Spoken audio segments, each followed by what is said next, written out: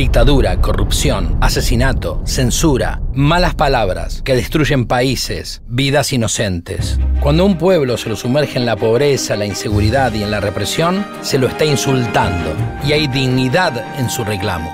Hoy es tiempo de alentar a todos los venezolanos en su lucha. Seamos el eco del grito de libertad de nuestros hermanos venezolanos.